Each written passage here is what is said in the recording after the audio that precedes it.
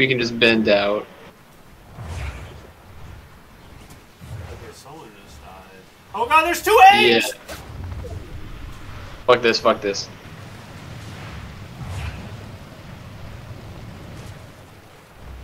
Oh, I almost got a haircut.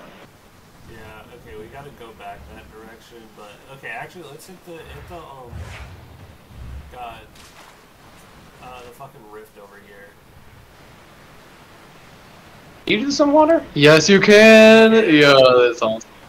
That's awesome. I mean, it makes sense. That would be lame as fuck if you couldn't. I was about to say you, Are you you rifting? can't control air on the fucking water. Yeah.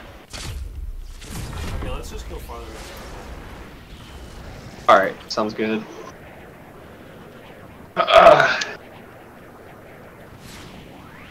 Like I was saying, like in the one game where we finished second, it's like I feel like if we can just not be uh, like super low health and shield or whatever, that we can pretty much tackle whatever comes at us. Of course, there's always going to be like the outliers of like, oh, this guy's level 166, cool. But like even still, it's like we're we're only getting better with the uh, with the combos Actually, of uh, the avatars and everything. I was I gotta figure out the um tech because once because honestly having having yeah the combos that you can do. Okay, there's people on this building.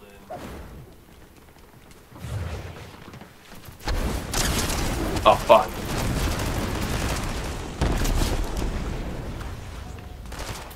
Where are they?